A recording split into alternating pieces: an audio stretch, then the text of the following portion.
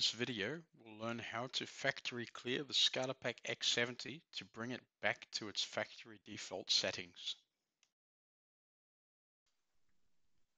A SCADAPack is a smart microprocessor-based telemetry and control device that can help to remotely monitor and control physical objects. For example, in a water management environment, a SCADAPack can be used to monitor and control the valves on flow monitoring devices at pumping stations.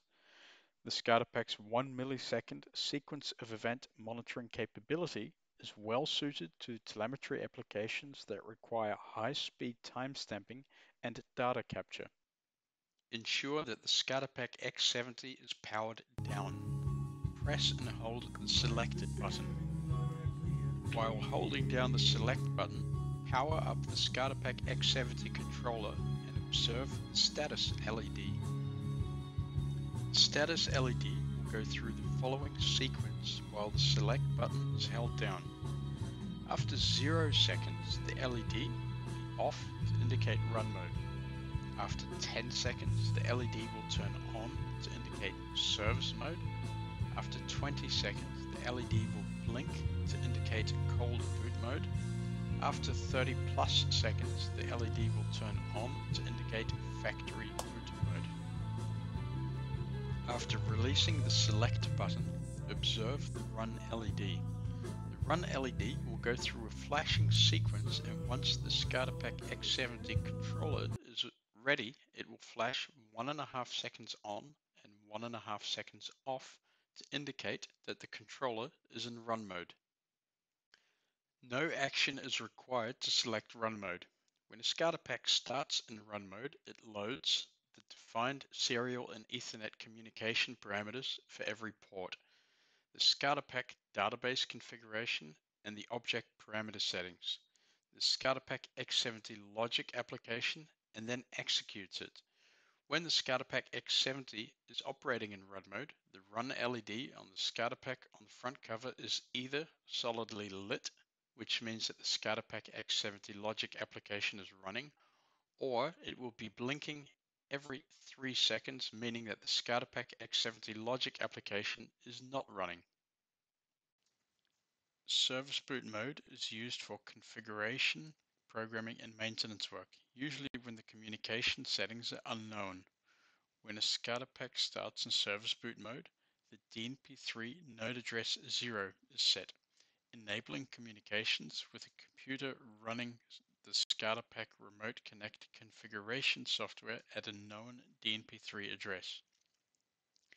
Connect the SCADAPack Remote Connect computer to a USB device port or a serial communications port. The SCADAPack X70 logic application is stopped. Modbus scanner operations are stopped. Programs and configurations are retained in non-volatile memory. Serial, USB, Ethernet, and IP routing parameters are set to the values listed in the tables. This allows you to connect to the SCADAPack for configuration, programming, and maintenance tasks without knowing the port settings used for daily operations. Only Serial 3 retains its pre-service boot settings when you start the SCADAPack in service boot mode. Cold boot mode is used when you need to clear a configuration from the SCADAPack. It is optional after installing new controller firmware. Cold boot mode does not format the flash file system. When the SCADAPack starts in cold boot mode, the SCADAPack X70 logic application is erased. The SCADAPack objects database is cleared. The SCADAPack configuration settings are returned to default. The DNP3 device address is set to zero. Serial, USB, Ethernet, and IP routing parameters are restored to the default settings listed. Factory boot mode is used to reformat the flash file system and initialize the SCADAPack to its factory default settings. When a SCADAPack X70 starts in factory boot mode, the SCADAPack X70 logic application is erased. The SCADAPack objects database is cleared. The SCADAPack configurations are returned to their default settings. The flash file system is reformatted.